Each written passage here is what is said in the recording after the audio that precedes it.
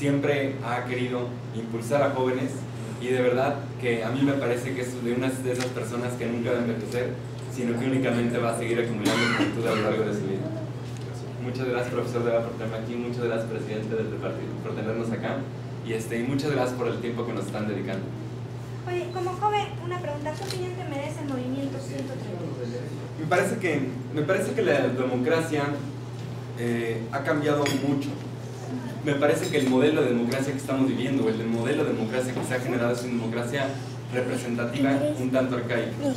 Eh, estos movimientos, como el de 132, como muchos movimientos que están gestando en México, no única, bueno, es el más dramático en este momento, pero todos sabemos que hay inconformidades, que hay movimientos estudiantiles, que hay movimientos en universidades, que hay universitarios que están completamente inconformes y que están en contra del propio sistema.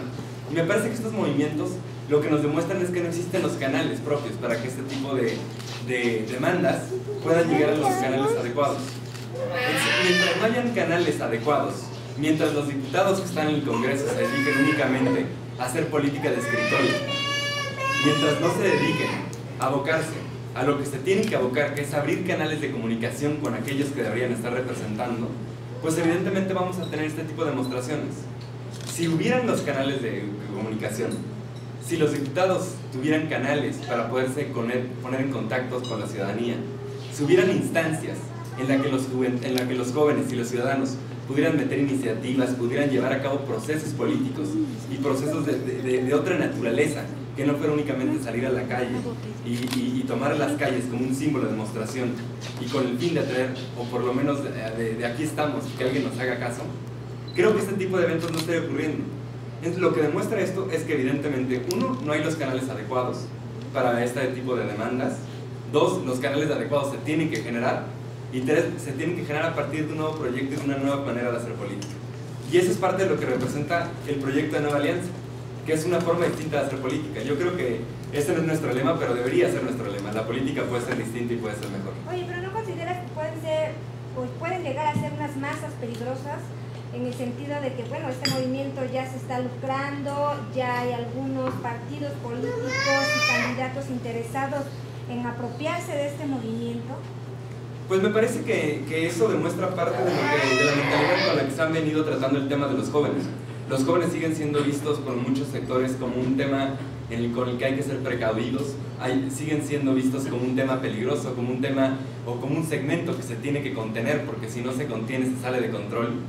Sin embargo, pues yo creo que tenemos que cambiar el énfasis bajo el cual estamos viendo a la juventud. Para mí la juventud no es un problema, sino que es la mayor riqueza que el país tiene que ofrecer se me hace verdaderamente injusto que hayan jóvenes que no están pudiendo encontrar los espacios para desarrollarse. Se me hace muy injusto que haya jóvenes que no están encontrando espacios para poder seguir una educación. Se me hace muy injusto que a los jóvenes de esta región se tengan que ir a otra región y que muchas veces terminen siendo económicamente productivos en la Ciudad de México o en Puebla o en otros espacios y no en el espacio que más lo les requiere, que son lugares como estos. Eh, y pues creo que no es un problema como tal, sino más que nada un capital que tenemos que saber cómo canalizar. En el caso de Yo Soy 132, pues evidentemente es un, momento, es un movimiento que nace dentro de una universidad privada, después en una, ubicación así, y en un momento electoral como el que estamos viviendo, pues evidentemente van a haber muchas personas que van a intentar beneficiarse de este tipo de inconformidades, que van a intentar eh, eh, beneficiarse de, del enojo, del enojo justificado que estos jóvenes traen y yo creo que eso pues, podría ser tal vez una cuestión peligrosa, pero no debido a los jóvenes, sino debido a los políticos que están intentando lucrar con ellos. Entonces el movimiento puede ser utilizado, está siendo utilizado ya por algunos grupos. Pues a mí no me consta que esté siendo utilizado específicamente por algunos grupos, si no te podría yo asegurar, no soy parte de los estudios 632 ni tampoco he visto los procesos que están llevando a cabo. Sin embargo, pues evidentemente me parece que hay algunos candidatos que salen beneficiados a partir de este movimiento y hay otros candidatos que están saliendo perjudicados por este movimiento, ya sea, ya sea de una manera, este, pues, eh, así de, que les nació o ya sea canalizados a través de algunos eh, grupos políticos. Con la experiencia que tienes ya,